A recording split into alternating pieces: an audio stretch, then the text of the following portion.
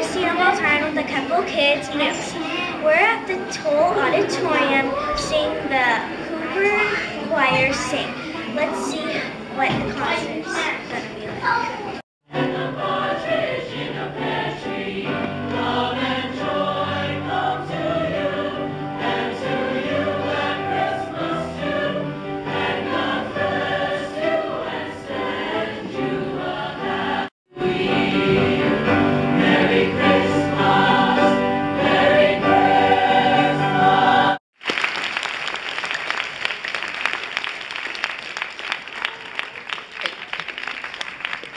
Wow, that was an exciting concert. Reporting from Keppel Kids News, this is Christina Baltine.